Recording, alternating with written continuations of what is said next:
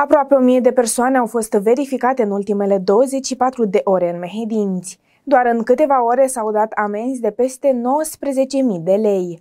Magazinele au fost luate la control de către forțele de ordine pentru a verifica respectarea măsurilor de protecție individuală.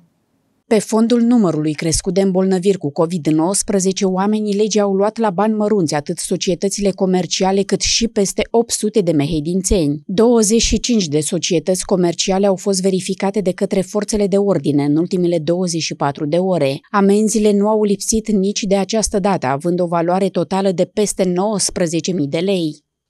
În cadrul acestor acțiuni au fost derulate activități de verificare atât în mediul urban cât și în mediul rural, acțiuni de verificare a măsurilor sanitare vizând combaterea răspândirii noului virus SARS-CoV-2, fiind verificate 800 de persoane și peste 25 de societăți comerciale.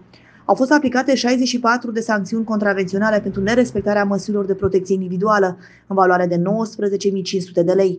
În trafic au fost verificate peste 150 de mijloace de transport persoane. Recomandăm tuturor cetățenilor să respecte prevederile legale în contextul pandemiei de COVID-19, facem precizarea că evenimentele de tipul nunți, botezuri, mese festive sunt interzise. Recomandăm tuturor să păstreze distanțarea fizică, să poarte masca de protecție și să nu se expună la riscuri.